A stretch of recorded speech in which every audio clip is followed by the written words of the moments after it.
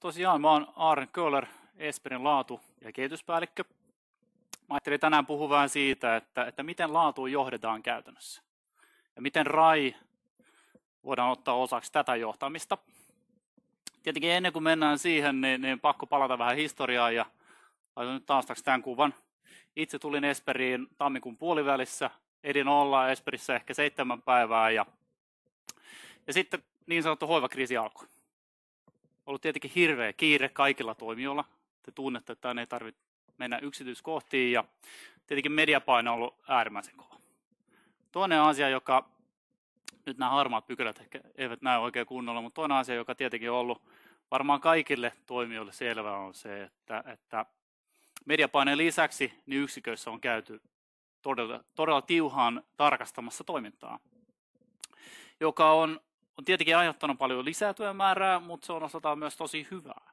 Ää, mä oon ehkä nyt sanonut muutamassa eri, eri instanssissa kesän aikana, että me ollaan, Esperi on varmaan niin auditoiduin toimija alalla ja, ja meitä on jopa, keräsin vähän numeroita tuossa kuukausi sitten, eli nämä on vähän myöhä, nämä vähän vanhoja, eli, eli niitä on varmaan enemmän tehty, mutta meidän yksiköistä 180 on auditoitu tähän mennessä viranomaisten toimesta.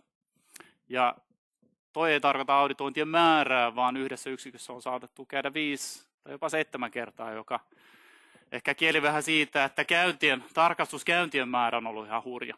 Meidän ikäyksiköistä niin yli 90 prosenttia ikäyksiköistä on tarkastettu tähän mennessä. Selvityspyyntöjen määrä on, on vähän vajaa tässä, tähän mennessä ja, ja se on enemmän kuin viimeisen kolmen vuoden aikana yhteensä kertoo vähän siitä niin kuin temposta, että, että kyllä kaikilla on ollut ihan järjetön kiire. Se hyvä puolihan tässä on se, että viranomaiset on osa meidän laatujärjestelmää, auttaa meitä tunnistamaan kehityskohteita. Ja nyt kun näin laajasti on auditoitu, niin on ollut yksi uurikka. Toki on ollut paljon yksiköitä, joissa on ollut jotain korjattavaa, mutta suurin osa yksiköistä toimii erittäin hyvin. Tämä ei tarkoita, mä en sitä sano, että meillä ei ole paljon tekemistä. Meillä on valtavasti tekemistä ja me tuossa, ennen kuin pääsen itse laatuun, niin helmikuussa tehtiin sellainen linjaus, että me laitettiin kaikki kasvu jäihin. Strateginen fokus on, on täysin henkilöstössä ja laadussa. Tarkoittaa sitä, että me halutaan hyvän ja osaavan henkilöstön kautta ja hyvin voivan henkilöstön kautta kehittyy alemman laatujohtajaksi. Tämä on tietenkin samalla sitä sanoin, että tämä on tietenkin valtava, valtava muutos ja, ja muutos, joka vie paljon aikaa. Meillä on yli 6000 työntekijää, 250 yksikköä. Tämä asia ei tehdä hetkessä. Mutta se vaatii johtamista ja, ja etenkin niin laadun johtamista. Mä en puhu niin paljon henkilöstön johtamista tänään, mä puhun niin kuin laadun johtamisesta ja mitä, se, mitä tarvitaan, jotta voidaan olla laatujohtajia. Mutta ehkä ensin, mitä laatujohtajuus tarkoittaa? Mitä se tarkoittaa meille? Ää, kuten sanoin, niin helmikuussa tehtiin sellainen päätös, ja se ei ole mikään pieni päätös, se on meidän hallituksen siunaama. Me halutaan olla laatujohtajia Suomessa. No, laatuhan käsittää monta asiaa, ja, ja meille ehkä se tärkein on asiakaskeskeisyys. Tarkoittaa sitä, että me tuotamme vaikuttavaa hoitoa, hoivaa, me voidaan varmistaa, että se elämänlaatu, se hyvä elämää, mitä voidaan taata meidän asukkaille, on, on, se on niin tärkeä. Tästä puhutaan hirveän vähän ja, ja tämä on tässä esityksessä ytimessä. Se on ehkä se tärkein asia ja, ja palaan siihen, että miksi RAI soveltuu tähän tarkoituksen erityisen hyvin. Miten se ei ole hyödynnetty riittävästi tähän mennessä. Mutta se toinen puoli, ja tietenkin tämä on se, mitä viranomaiset yleensä tarkistaa. Eli, eli tarkkuus ja, ja tasalaatuisuus. Onko kaikki tehty niin kuin sopimukset edellyttää, niin kuin laki edellyttää, oma valvontasuunnitelmat, lääkehoito ja niin poispäin. Tämä on se, mihin on kiinnitetty hirveän paljon huomiota tähän mennessä. Tulisi ehkä miettiä vähän enemmän sitä asiakaskeskeisyyttä, mitä oikeasti saadaan aikaiseksi niillä hoitajilla, sillä hoivatyöllä, mitä me tehdään siellä yksikössä. Ja tietenkin jatkuva kehitys on olennainen osa tätä meidän pitää pystyä seuraamaan, mittaamaan, mitä teemme ja jatkuvasti oppia parhaista yksiköistä ja heikosta yksiköistä. Me ollaan näiden teemojen lisäksi vielä määritelty itsellemme tuo vastuu, eli, eli laatu on jokaisen työntekijän jokapäiväinen vastuu. No miten päästään tänne ja, ja miten ylipäänsä, kun saan kysymyksen, että, että miksi laadun tekeminen on haastavaa ja, ja joku on ehkä saattanut kuvitella, jos on lukenut pelkästään lehtiä, että, että Esperissä ei ole ollut laatujärjestelmää ennen sitä kriisiä, mutta sehän ei pidä paikkansa. Ja, ja kyllähän Mä yritin tässä nyt kuvalla vähän, että miltä se laatujärjestelmä on näyttänyt. Ja se on ollut aika laaja.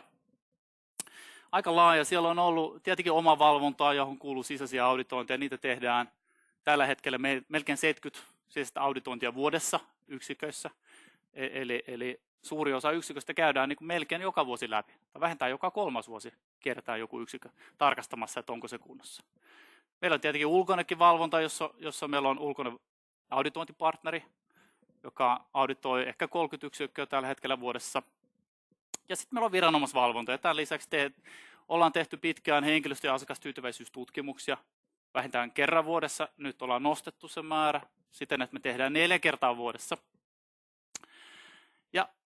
Me kerätään paljon hyvää dataa muutenkin, RAI, ikäpuolella tietenkin, ja sitten FIM ja TUVA meidän muissa toimialasegmenteissä hyödyksi. Ja Domakeerin kautta, joka on meidän asiakastietojärjestelmä, asukastietojärjestelmä, niin kerätään paljon hyödyllistä tietoa.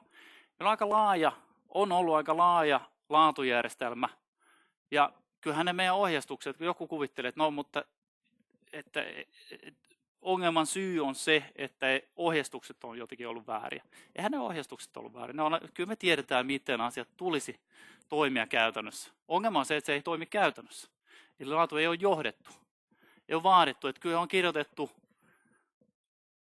vaikka kansiokaupalla tuota ohjeistuksia, mutta se, sit se ei tapahdu lattiatasolla se, se laatu tai se työ, se ei näytä siltä, miltä sen pitäisi näyttää.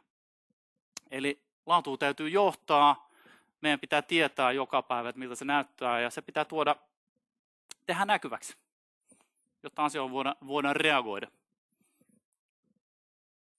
Ehkä näistä voisi sanoa, että, että Esperissä on pitkään ollut käytössä raita.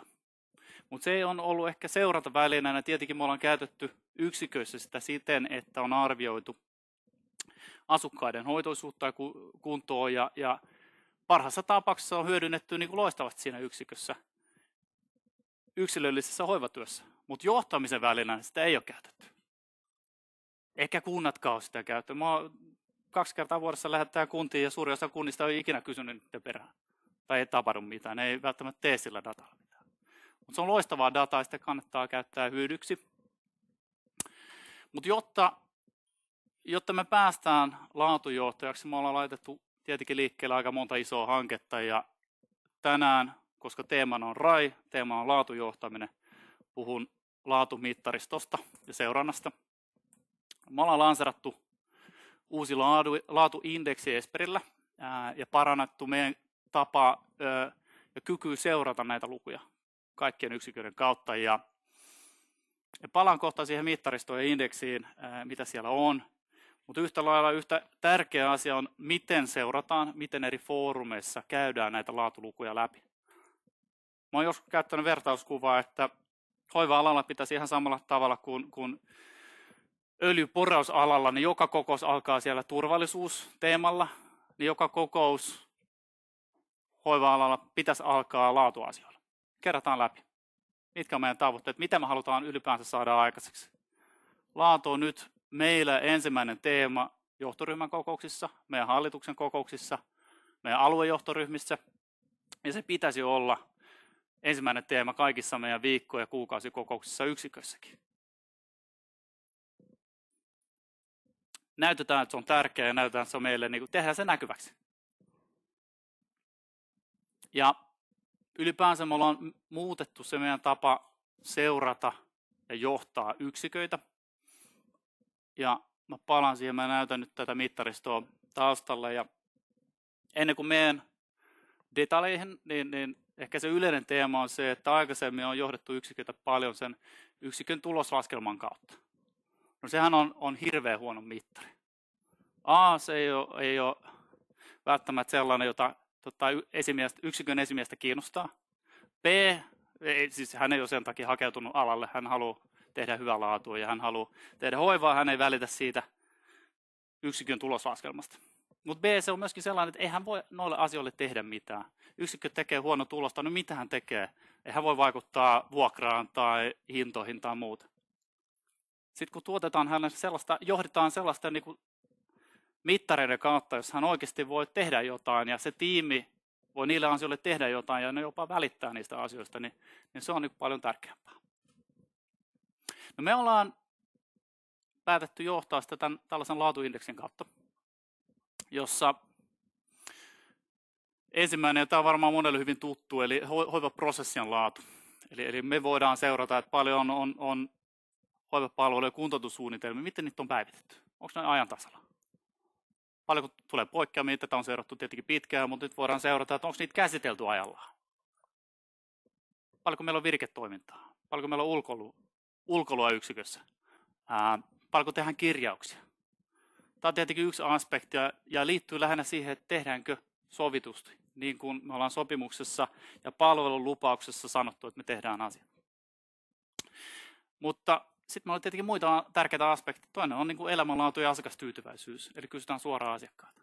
Tulevaisuudessa tehdään neljä kertaa vuodessa, tai kolme neljä kertaa vuodessa aikaisemmin tehty kerran vuodessa.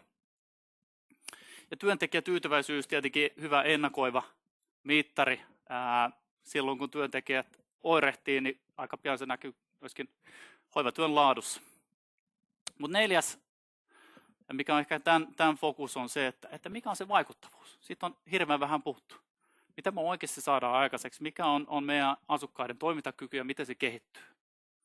Ja voidaanko oppia hyvistä yksiköistä jotain, teekö ne jotain eri lailla, mitä meidän pitäisi kopioida kaikkiin yksikköihin. Ja, ja nyt kun tämä on raiteemainen seminaari, tietenkin sopii hyvin, että me ollaan otettu no, toiminnalliseksi mittariksi raita sen takia, että se on, oli meillä olemassa tietenkin.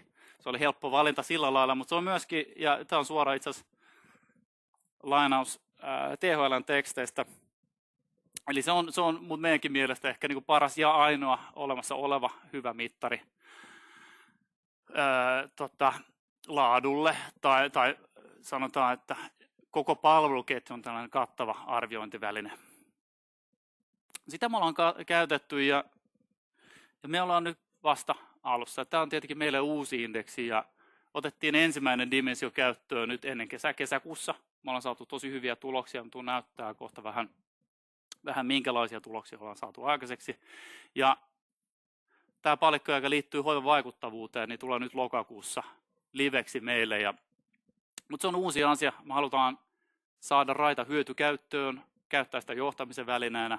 Ei olla käytetty aikaisemmin. Me, meillä on tota, kolme isoa, ja nyt mä en puhu siitä yhden asukkaan arvioinnissa, mä puhun lähinnä niin kuin raita, miten käytetään raita koko johtamisen välineenä. Meillä on kolme eri tapaa käyttää sitä nyt, otetaan käyttöön. Ensimmäinen on, on laajempi, eli, eli kaksi kertaa vuodessa me ollaan, lähetetään esimiehille hyvin visuaalinen yksinkertainen raportti. Tuo näyttää kohta kuvan siitä jossa näkevät oman yksikönsä ja miten se on suhteessa muihin Esperi-yksikköihin, suhteessa maan keskiarvoon ja miten se on kehittynyt yli ajan. Tämä on sellainen, en sanoisi niin johtamisen väline, mutta tästä saavat niin kokonaistiedon, eli siellä on melkein kaikki mittarit mukana. Mutta sitä ei voida käyttää viikoittaiseen johtamiseen, vaan silloin pitää valita muutama mittari. Ja sitä työtä ollaan tehty. Meillä on valittujen mittarin osalta meillä on Raita nyt osana meidän Business Intelligence, eli BI, se on Business Intelligence, eli Business Intelligence-työkalu. Voidaan jatkuvasti seurata, se on integroitu suoraan meidän raportointijärjestelmään, voidaan seurata, miten nämä mittarit kehittyy. Voidaan porautua eri yksikköihin, alueisiin, eri teemoihin. Näytän tästäkin esimerkin, miltä se näyttää kohta. Ja sitten yksikköpäälliköt saavat viikoittain raportin omasta yksikköstään, että, mitkä on näiden niin kuin avainmittareiden kehitys ja miltä se näyttää. Toki ei ne muutu, ei ne muutu viikoittain, mutta, mutta saattaa muuttua. Ja ehkä se tärkein sitten, kun tämä tieto on olemassa ja yritetään tehdä tästä mahdollisimman helppoa, että sitä oikeasti käytetään, niin se, että sitä käydään läpi yksiköissä viikkoja kuukausikokouksissa. Se ei auta, että, että yrityksen eri johtoryhmissä, foorumeissa katsotaan niitä, niitä tuloksia, vaan niitä pitää oikeasti saada, saada tota hyötykäyttöön siellä lattialla. No tuosta, tämä oli se ensimmäinen, eli, eli puhun tästä raikoosteesta, vaan yksi suora, suora screenshot, kuvakaappaus työkalusta ja, ja idea on tosiaan se, että yritetty tehdä sitä mahdollisimman helpoksi. Tämä on kuvakaappaus, joka näyttää palveluntarveprofiilit. Samassa työkalussa saa laatuindikaattorit ja kehitys yli ajan ja myöskin koko arvio löytyy sieltä. Mutta se koko idea oli, tämä lähti siitä, että me huomattiin, että, että ei meidän yksikö esimiehet, ei ne käytä sitä raitietoa. Miten me tehdään se maailma, mahdollisimman helpoksi, ää, lähestyttäväksi. Ja si, sitä kautta on tämä työkalu kehitetty ja se oli se tarkoitus. Mutta toki tässä on tosi paljon mittareita, eikä tämä niinku viikoittaisen kuukausittaisen niinku johtamisen välineenä. Siihen se ei oikein sovellu. Se soveltuu siihen, että pari kertaa vuodessa mietitään vähän syvällisemmin, että mikä meidän koko toiminnassa voisi kehittää. No, jotta me päästään sellaiseen viikkotasoiseen johtamisrytmiin, niin tietenkin pitää valita joku hallittava määrä mittareita. Tässä kuvassa on esitetty meidän valitsemat mittarit. En sano, että nämä on oikeat. Mä sanon, että nämä on, nämä on meidän mielestä tärkeät. Ja me päädyttiin tähän. Meillä on sisäinen ryhmä, eksperttiryhmä, joka on arvioinut ja käyty, ollaan käyty läpi alan tutkimukset päädytty siihen, että tämä on varmaan hyvä mittaristoa. Tässä on hyvin määritellyt kohtalaisen helpot, ja nämä kuvaa ehkä, nämä on ne keskeisimmät meidän mielestä. Ja sitten paitsi nämä on käyttänyt viimeinen tietenkin englanninkielinen sana, mutta actionable, eli näille voidaan tehdä jotain. Ja nämä on, nämä on sellaisia mittareita, joita meidän, meidän työntekijät kokivat, että nämä on tärkeitä ja näille, nä, näitä halutaan myös johtaa. Eli, eli kokevat, että nämä on niin relevantteja. Tietenkin tässä on niin arkisuoriutuminen, osallisuus, hirveän tärkeä, miten ollaan mukana, kipumittari, masennusta. Tämäkin oli esillä yhdessä aikaisemmassa esityksessä tänään, eli, eli paljonko meillä on, on asukkaita, joilla on monilääkitystä. Kaatumiset ja tietenkin osallisuus, eli paljonko asiakas on itse osallistunut ää, arviointiin. Ja kuten sanoin, ei ole täydellisiä mittareita. Toki olisi loistavaa, jos meillä olisi joku mittari, joka kuvaa elämänlaatua kokonaisvaltaisemmin ja, ja, ja sitä pyritään vangitsemaan tämän niin asiakaskyselyn kautta.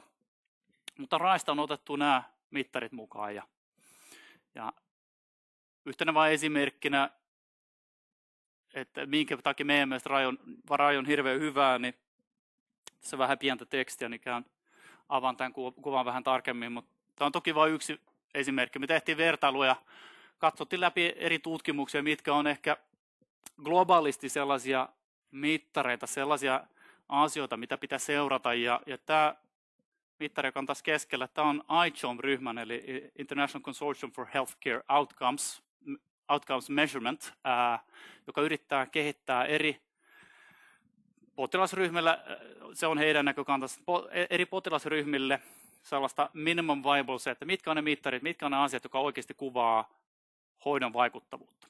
Ja toki tämä ei ole kehitetty alun perin asumispalveluille, mutta ylipäänsä geriatrisille potilaille. Mutta siinä on hirveän paljon hyvä, hyviä ajatuksia ja, ja, ja tämän työryhmän taustalla on ollut ehkä globaalisti ää, tämän alan isommat ekspertit ja, ja auktoriteetit. Ja tuossa on nyt vertailtu, en käy niitä läpi, mutta miten nämä eri raimittarit osuu näihin kohtiin. Ja aika hyvin, aika hyvin itse asiassa raista löytyy sellaisia keskeisiä mittareita, mitä niin kuin maailmanlaajuisestikin nähdään, että on, on tietenkin tärkeää, mutta tämä on varmaan kaikille luonnollista, että näinhän se on. Ehkä voisin vielä mainita, että nyt kun, jos palaan tähän, niin, niin tämä on toistaiseksi valitut mittarit meille. Tähän voi elää, että, että jos me löydetään jotain parempaa ja nyt me ollaan haastettu meidän ulkoista laaturyhmää, joka on Jaakko Valvanteen johtama, johtama ryhmä, niin haastettu hetki pohtimaan, että onko, onko nämä ne oikeat mittarit vai pitääkö olla jotain muuta.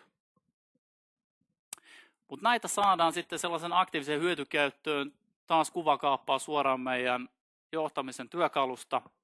Tämä tullaan nyt lansaramaan lokakuussa RAI-mittareiden osalta, eli ei ole vielä meidän edes esimiesten käytössä.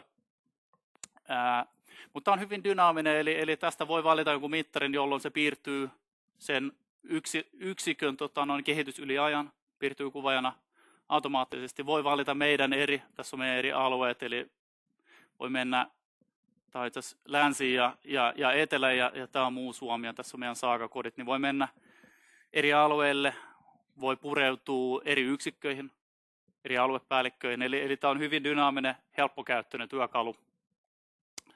Mutta tosiaan tämä tulee meillä lokakuussa voimaan. Idea on se, että, että tämän kautta johdetaan, tehdään näkyväksi niitä asioita, mahdollistetaan se, että, että voidaan käyttää ihan arjessa siellä yksikössä ja, ja tulisi käyttää. Ja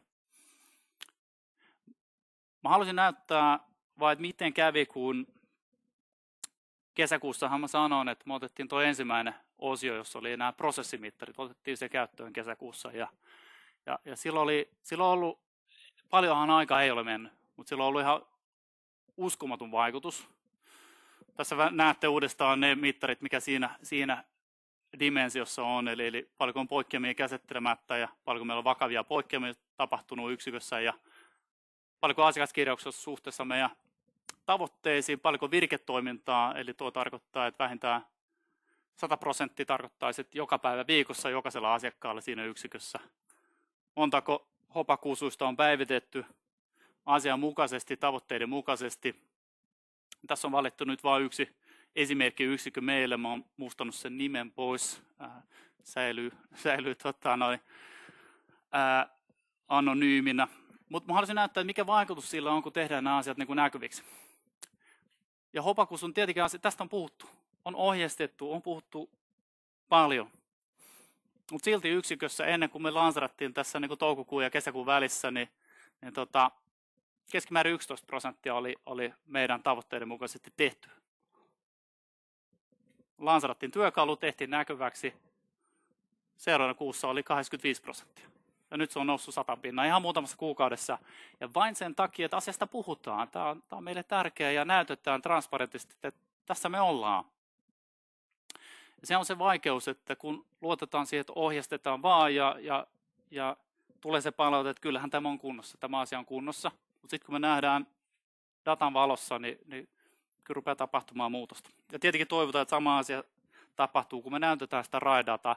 Eli meidän työntekijät saa sitten kokea, että ne ei vaan niin syötä sitä dataa sinne, vaan, vaan tulee myös takaisin jotain. Eli, eli sillä on joku arvo, että mitä sä syötät sinne. Ja... Mutta ehkä meille, haluaisin nostaa nyt lopuksi esille, että mikä on ollut ehkä meille ne keskeisimmät opit nyt. Ja, ja korostan, tätä on vain puoli vuotta tehty. Mutta ehkä keske, keskeiset opit, ja ensimmäinen on se, että vaikuttavuutta pitäisi seurata enemmän. Puhutaan aivan liian paljon paljon tota, näin prosessimittareista ja, ja onko tota, lääkehoitosuunnitelma allekirjoitus oikeassa paikassa ja muuta, joka on tietenkin tärkeitä asioita ja, ja se on niin kuin turvallisuutta. Mutta paljon, me ollaan puhuttu aivan liian vähän elämänlaadusta ja vaikuttavuudesta, mitä saadaan aikaiseksi. Toinen on se, että se pitää olla niin kuin tosi helppoa. Meillähän on ollut raita käytössä meidän yksikössä vaikka kuinka pitkään, mutta ei sitä ole käytetty, koska ei ole ollut aikaa ja se on ollut kohtalaisen haastavaa. Eli tehdään se helpoksi, visualisoidaan, karsitaan mittareiden määriä. Liittyy tähän toiseen, että kun puhutaan niin johtamisesta, niin eikä vaan niin seurannasta ja, ja, ja analysoimisesta, niin, niin kun puhutaan johtamisesta, niin pitää olla niin hallittava määrä mittareita. Ehkä neljäs, että priorisointi lähtee johdosta, eli se, mistä mä ja meidän johtoryhmä kysyy, niin se koetaan myös tärkeäksi se, mistä meidän aluepäälliköt kysyy, niitä asioita, mitä ne kysyy heidän yksikön päälliköiltä, esimiehiltä, niin niitä asioita on niin tärkeitä. Ja se on sama juttu, että se, se mistä puhutaan sitten siellä, mitä yksikön esimies tuo esille siellä yksikössä, niin ne on niitä tärkeitä asioita. Että jos, että senkin takia on, on äärimmäisen tärkeää, että nämä tehdään näkyväksi. Että et voidaan käydä läpi siellä viikkokokouksessa siellä yksikössä ja kuukausikokouksessa. Ehkä se viimeinen, joka liittyy vähän tähänkin seminaariin, että, että aito muutoshan tapahtuu siellä yksikötasolla, eli, eli se ei riitä, että voin kuvailla, että jossain yksikössä näen raitietojen perusteella, että toiminta on vähän parempi. Sittenhän meidän pitää ymmärtää, että mitä ne tekee eri lailla. Mitä ne hyvät yksiköt tekee eri lailla kuin ne huonot, ja voidaanko sieltä oppia jotain ja kopioida jotain. Ja ehkä viimeisenä kalvona vielä, että mulla on yksi tämän jälkeen, mutta, mutta miten raista voitaisiin saada niin kuin enemmän hyötyä sitten kansallisella tasolla. Ja tietenkin se liittyy siihen, että, että mitä enemmän data meillä on, mitä avoimempaa ja, ja avoimemmin voidaan näyttää ja vertailla tuloksia, niin tietenkin voidaan päästä niin kuin vielä parempiin tai löytää, sanotaan näin, löytää vielä parempia ratkaisuja. Eli, eli jos me nyt tällä hetkellä voidaan Esperin sisällä vertaa ja löytää niitä parhaita tapoja, toimintatapoja, niin mieti, jos mä voisin vertailla kaikki Suomen yksiköt ja löytää sieltä niitä helmiä ja oikeasti ta- ymmärtää, että minkä takia joku yksityinen yksi, tai, tai yksittäinen yksikkö pelaa paljon parempi kuin muu. Ja kansa, nyt on puhuttu, Rajo mainittu nyt lakiesityksessä, ää, siitä oli vähän epävarmuutta, niin voi olla, että meillä onkin. Rajo on jo laajasti käytössä, mutta voi olla, että se on kansallinen ratkaisu tulevaisuudessa. Se olisi hyvä, jos me mietitään yhtenäiset priorisoidut mittarit. Mä, meillähän on, on joku lista, mutta kuten sanoin, niin se on meille työlista ja ei se ole mikään lopullinen totuus. Me ollaan pohdittu, että mikä olisi meille sellainen hallittava määrä mittareita, mutta olisi tosi mielenkiintoista, jos me voitaisiin koko maassa pohtia, että mitkä voisi olla ne 5-7 keskeisimmät RAI-mittarit. Avoimuus, läpinäkyvyys, siitä on puhunut tosi tärkeää tietenkin, että voidaan näyttää ja vertailla tuloksia toimijoiden yli. Ja tämä liittyy mun edellisen kalvon viimeisen pointtiin, eli, eli olisi erittäin hyvä, jos meillä olisi näitä kehitysfoorumeja, jos myös tuodaan niin esimiehiä ja päästään siihen konkretiaan, koska nyt puhutaan, vähän vertaillaan niin lukuja ylätasolla, mutta olisi hyvä oikeasti löytää niitä parha, parhaita toimintatapoja. Et miten, me, miten me löydetään sellaisia foorumeja tai, tai kehitetään sellaisia foorumeja, foorumeita, joista oikeasti joku tulee puhumaan, että miten, on, miten ovat saavuttaneet noin hyviä arvoja. Ja ehkä viimeinen sellainen, lähinnä nyt huomautus, mutta huomaa tässä, kun eri kuulemistilaisuudessa olleena ja, ja ollut lähellä tätä lakiesitystä, niin pitää muistaa, mihin RAI soveltuu ja mihin ei. Se on, se on tosi tärkeää ja, ja kuulee paljon sellaisia puheenvuoroja, joissa ei ole oikein ymmärretty, että, että mihin se toimii. Se on niin loistava väline, mutta esimerkiksi tämä nyt vain esimerkkinä, että ei sitä suoraan voi käyttää siihen, että vertaillaan hyviä ja huonoja yksiköitä tai kilpailutuksessa kilpailutuksissa pitää miettiä, että ei tämä data niin kuin sellaisenaan sovellu siihen. Mutta se on loistava kehittämisen väline ja siihen sitä pitää käyttääkin. No viimeinen sana, kuten sanoin, niin, niin tämä on meille vasta alussa. Meillä on 6000 työntekijää, 250 yksikköä. Puoli vuotta tätä tehty. Aidosti tehty, aidosti käytetty raitajohtamisen välineenä, niin, niin matka on tietenkin pitkä. Mutta uskomme, että me ollaan niin hyvässä vauhdissa ja menossa oikeaan suuntaan. Kiitos.